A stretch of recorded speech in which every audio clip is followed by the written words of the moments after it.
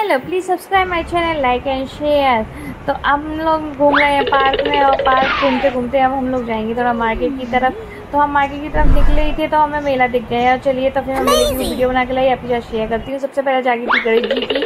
और गणेश जी के बाद ये राधा कृष्ण की झांकी थी, जो कि ये लोग नाच रहे थे डांस कर रहे थे। काफ़ी अच्छा लग रहा था बच्चों के लिए ये नई चीज़ें होती हैं। ये खाटू श्याम की झांकी थी, हनुमान जी की झांकी थी राम सीता की झांकी थी, काफ़ी सारी झांकी थी, जगन्नाथ जी की झांकी है राम सीता की झांकी है। और ये सारी झांकियाँ थी काफ़ी सारी झांकियाँ थी शंकर जी की डांस की झांकी थी डांस की झांकियाँ इसमें बहुत सारी थी और शंकर जी की झांकियाँ तो बहुत ही देखिए आप।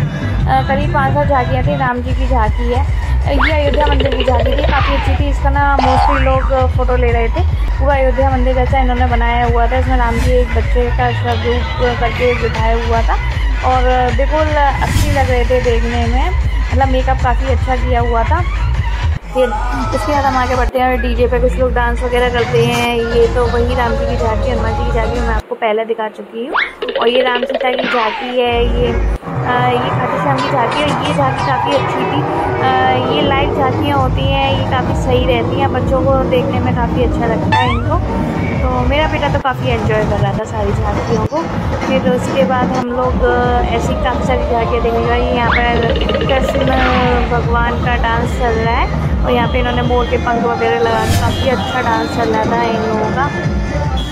ये भी हमने थोड़ी देर देखा और मेला ना रुका हुआ था, काफ़ी बड़ा मेला था तो धीरे धीरे धीरे धीरे ही चल रहा था।